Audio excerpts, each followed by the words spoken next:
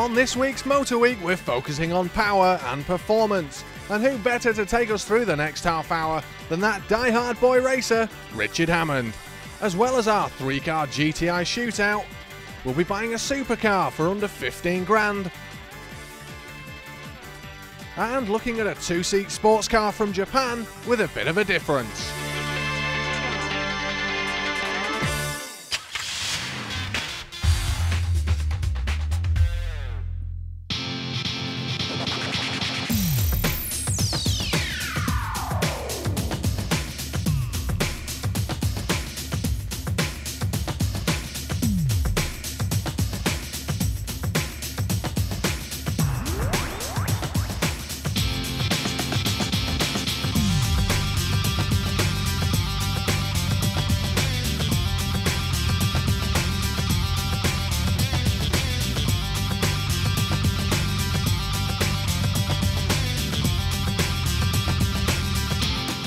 Not so very long ago, forbidden fruit meant just that. Forbidden fruit, an apple on the tree of wisdom in the Garden of Eden. Of course, they ate it. Well, you would, wouldn't you? Things then got a bit more sophisticated and the humble apple was replaced with forbidden pleasures like mm, chocolate. Thing is, nowadays, obviously, we'd expect things to be a little bit more sophisticated, and they are, because our forbidden fruit is something like this, the Mitsubishi FTO forbidden because until recently Mitsubishi refused to bring it into the country officially. Now that they've bowed to pressure from the likes of you and me, and they are. But here's my point. Now it's no longer forbidden fruit. It's no longer a bit of naughty fun. So is it boring? Or is it still exciting? You'll find out. Ah. Oh dear, I think I might have got the coffee cream here because the interior is more than a little bit disappointing. It's plasticky and bland and looks about 15 years out of date. The only thing in its favour is it's Mitsubishi, so it'll last for thousands of years. The centre console, particularly, is just a kind of lumpy, bumpy mess. I don't think anybody designed that at all. And where's the tactile delights of a nice feeling steering wheel and a gear lever that's something other than this rather nasty old thing? Don't tell me the reality is going to be a disappointment. Bring back the fantasy.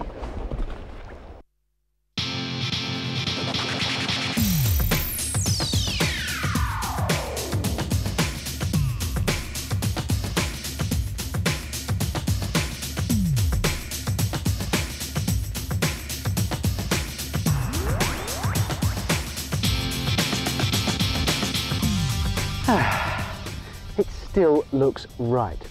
You know, Japanese sports cars really aren't usually sold on their good looks. It's usually some clever piece of techno wizardry. But in the case of the FTO, I think there's an exception. It is a genuinely pretty little sports car. It looks squat and purposeful. It's low and mean. It's angular where it needs to be and curvaceous where it teases and tempts.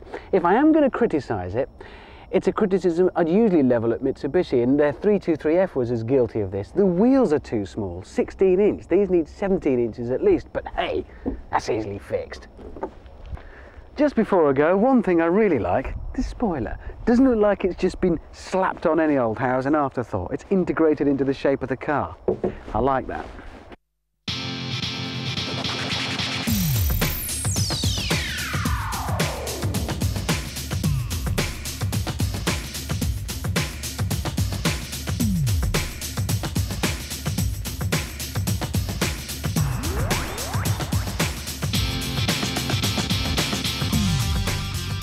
Is a Mitsubishi sports car, so you wouldn't expect me to say it's entirely bog standard and boring under the skin. And it isn't. What you get is a rather clever 2 litre V6 engine with 197 brake horsepower, which is quite a lot actually. 60 miles an hour comes up in 7.3 seconds, not at all bad.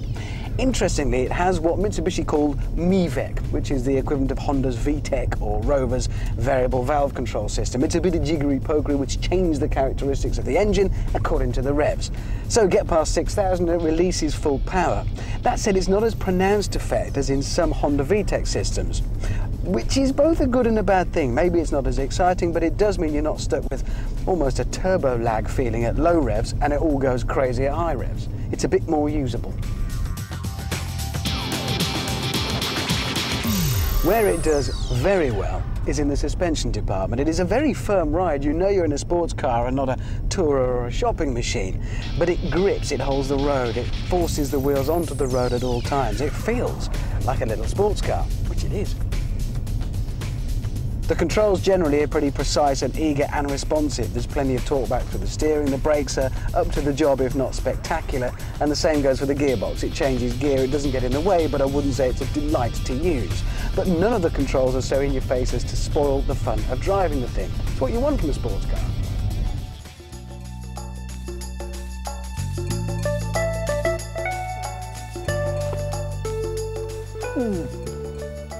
This was the kind of thing I had in mind when I found out I was going to try my forbidden fruit. A bit of luxury. Did it measure up? Well, on the outside, yes, I think it looked the part. It was every bit the box of chocolates, the bottle of champagne, or the bowl of fruit. Inside, well, yeah, it was a bit of a disappointment. It was less of this and more this. Bit disappointing, but not disastrous. And overall, well, yeah, I'd say our forbidden fruit measured up. It was every bit the dream I'd hoped for. Hmm.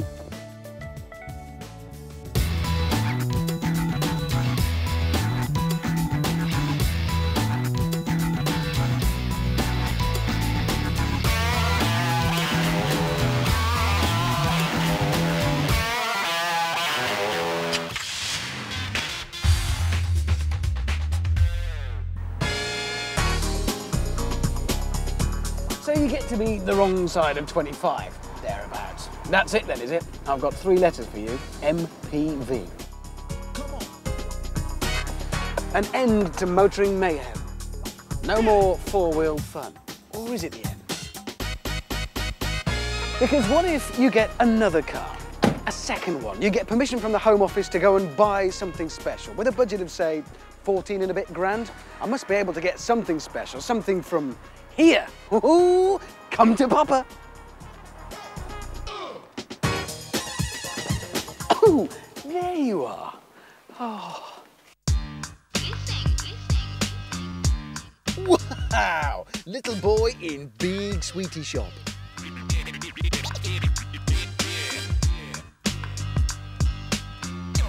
Oh yeah, this place has everything. Something tells me that the folks here are not going to be too impressed with my little bulge. The one in my wallet, that is, obviously.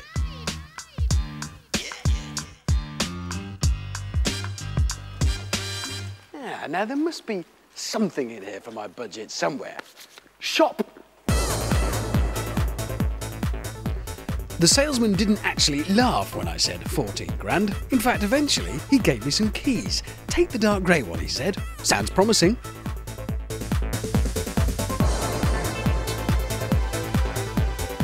Oh, Celica. Well, that's not bad, I suppose. Are you serious? Oh, yes. That is more like it. For 14 grand. This I can cope with. This is a Lotus.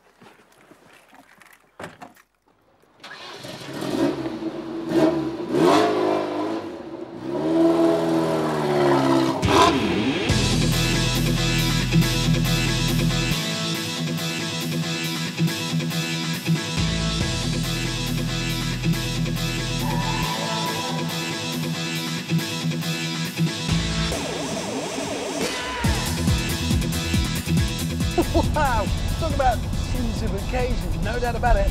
You're driving something special behind the wheel of this thing. Surprisingly, despite the narrow apertures, visibility is pretty good. I can see out quite well. But who cares? People can see me. That's what matters. Look at me in my supercar. Oh yeah, yeah.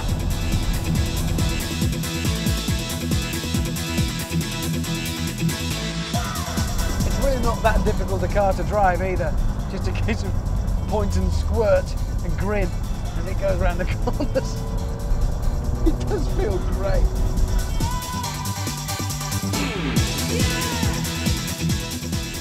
Aficionados of the brand will already have noticed that this colour is not entirely standard. The rear spoiler on the boot, the front balance, even the seats have all been added from later cars. But it doesn't really matter, they've all been nicely put on and the whole effect is uh, easy.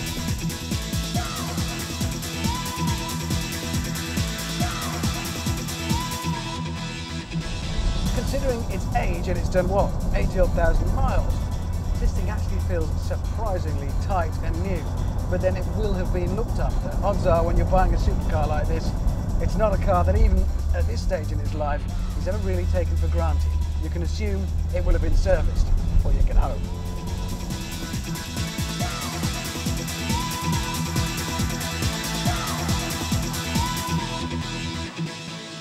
Of course, buying yourself a supercar for just 14 grand is fine until something goes wrong.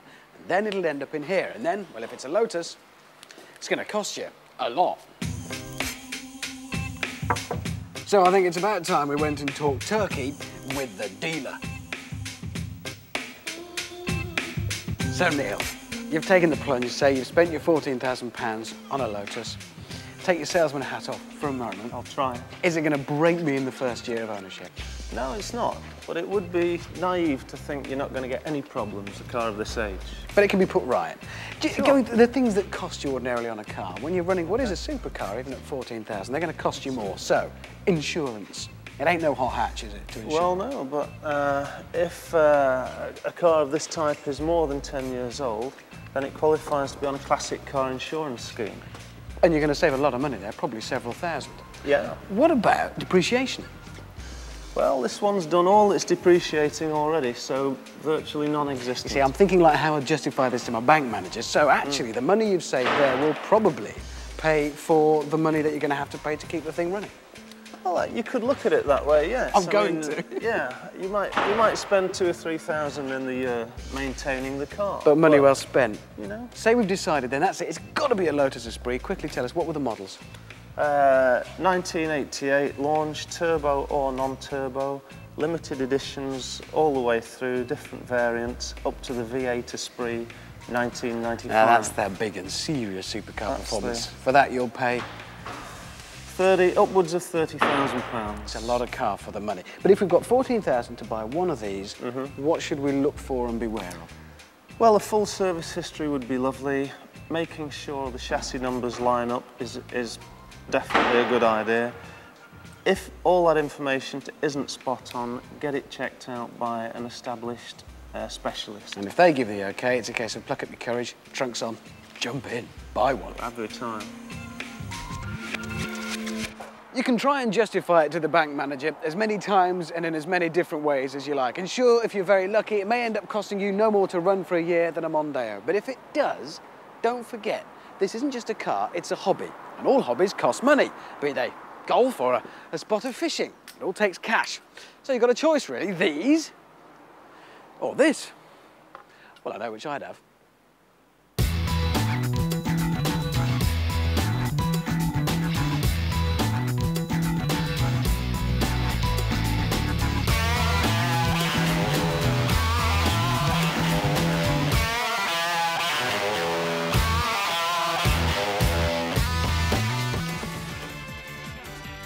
That's it for part one of Motor Week, but keep watching because after the break, we've got our three car GTI Battle Royale between the Renault Clio 172, Honda Civic Type R, and the MG ZR. Which one comes out on top? Find out after the break.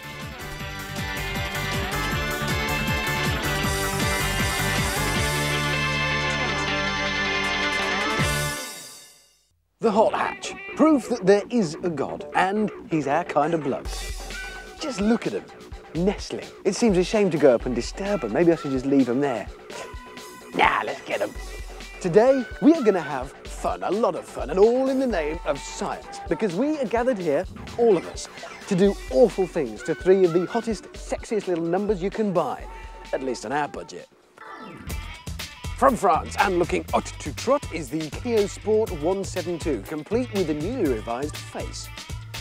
And then an English rose in naughty underwear, the MG ZR 160. Just don't say Rover, it thinks we can't tell.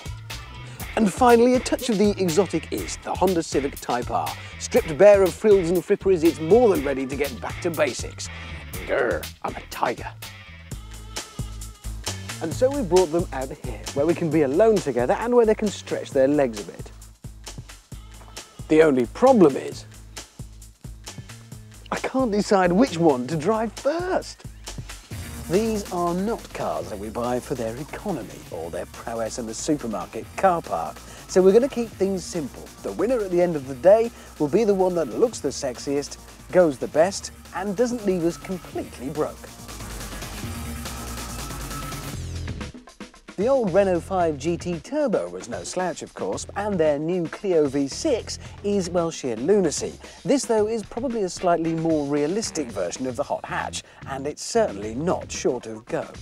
Renault recently tweaked the interior of the Clio, and for this sport version, it was much needed and actually means it feels pretty good. There's quite a sense of occasion in here. It feels quite proper. You are immediately hit though by the Clio's big problem and that is the driving position. It's a bit truck-like, it's not quite right. I don't have quite the right adjustment on the wheel and that's a shame because other than that, it's a great hot hatch. There's plenty of power, 172 brake horsepower, the clue is in the name, Clio 172. That's from a 2 litre engine and there's loads of mid-range urge so you've always got power.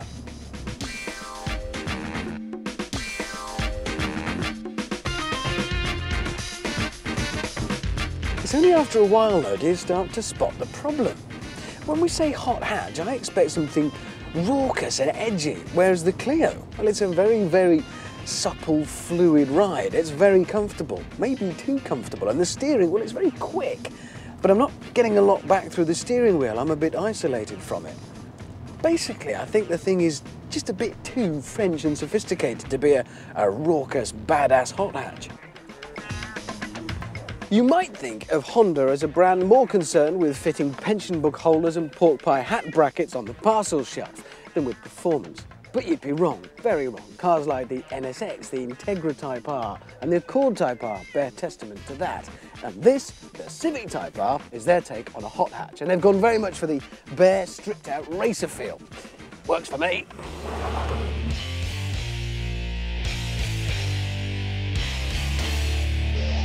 And straight away, this feels a lot more like a hot, hot hatch. Where the Clio is supple and gentle in the ride, this is harsh and crashy and like a hot hatch of the old school, which I like.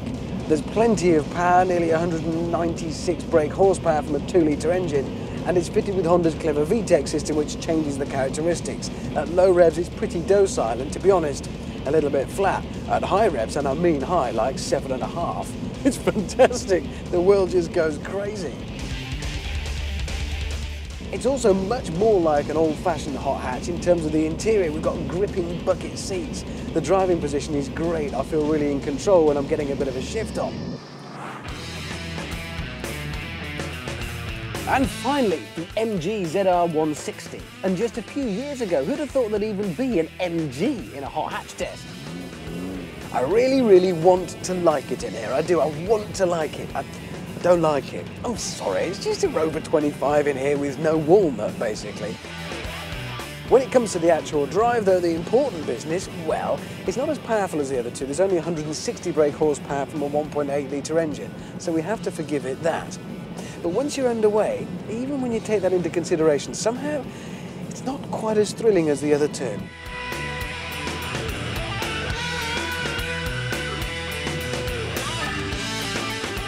It is still a hot hatch though, despite all of that. It still feels sporty and nimble and quick. It's just it is against some pretty stiff competition here, and it just doesn't feel as exciting. And so the performance verdict. And in third place, it's the MG. It really isn't the car's fault, and maybe it is a bit unfair. It's down on power compared to the other two, and it just can't cut it in this company. And then it got very, very close, but second was the Clio. It really is very, very close, and the Clio nearly made it to the top slot, but it got knocked down just because of that ride, being perhaps a little bit too soft.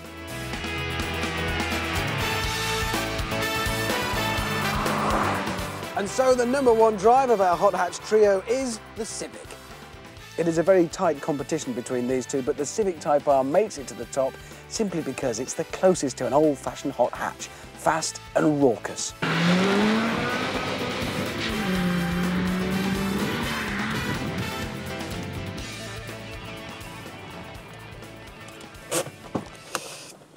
And so for the verdict. Well, there's got to be a loser, and I'm afraid it is the Rover. Oh, sorry, the MG. I'd love it to have won, but I guess it is the smallest, the least expensive and the most underpowered of the three, so maybe it always was a little bit unfair, and it did pretty well.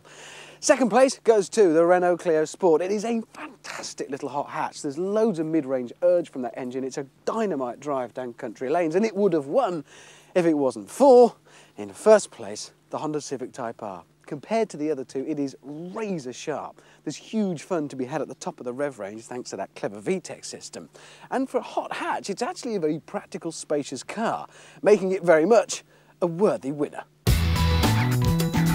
So on the road and on paper, the Civic Type R is our three-car winner. It may be the dearest car and the most expensive to insure, but those performance figures speak for themselves. The Clio 172 was a close second, and the MG ZR, whilst it was in third place, with a 0 to 60 time of 7.4 and for only 13.5 grand, that's pretty good performance for not much money.